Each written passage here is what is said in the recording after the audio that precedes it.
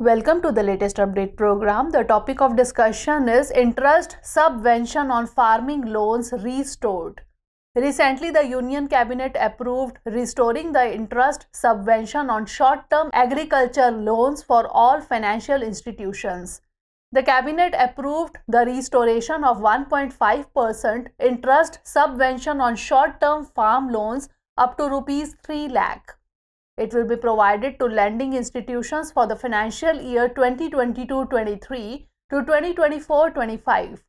The 1.5 interest subvention scheme for the farm sector aimed to ensure adequate agriculture credit in the rural economy. Now information about the interest subvention. The decision is taken amid recently increased repo rate by the Reserve Bank of India. It requires an additional budgetary provision of rupees 34,856 crores for the period of 2022-23 to 2024-25.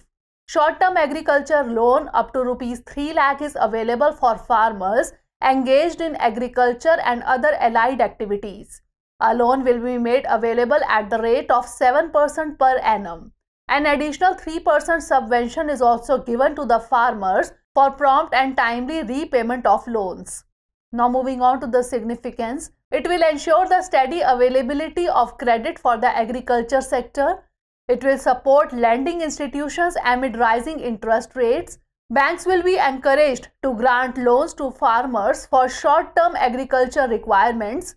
It will enable more farmers to get the benefit of agriculture credit and it will lead to the generation of employment since short-term agri loans are provided for all activities including animal husbandry, dairying, poultry, fisheries, etc.